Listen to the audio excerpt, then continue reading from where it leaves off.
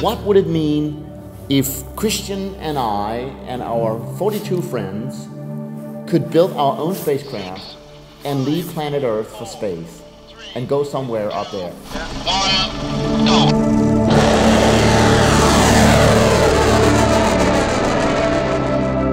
I'm actually working on a uh, one tenth scale model of uh, the next space capsule. Man ved jo aldrig, hvad der kunne lade sig gøre. And it's Det vil jeg uh, på, the purpose of doing this capsule is performing a wind tunnel test.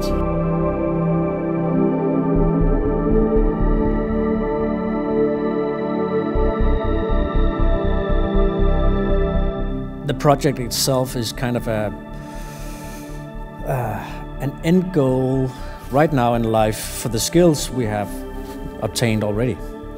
Personally, I've been working with all the human spaceflight aspects like capsules, and Peter has been working with uh, with rocket engines Oh, this is the worst experiment ever. This is a a very crude, low-tech turbine pump.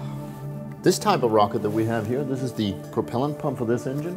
I mean, it comes with with shafts and and, and precision parts and, and rotating parts, but that's that's the world of big rockets. It's very very different from fireworks.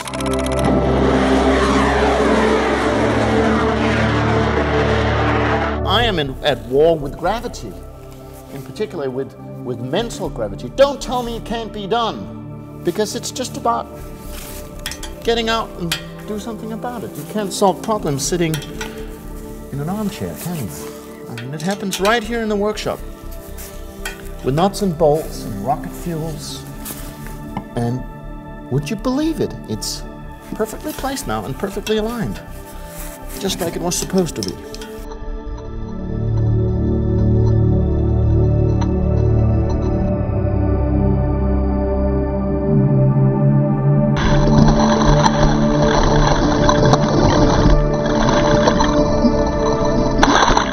I truly hope that if if there's supposed to be some kind of legacy from this project here, that would actually show the world that human spaceflight can eventually be for everybody.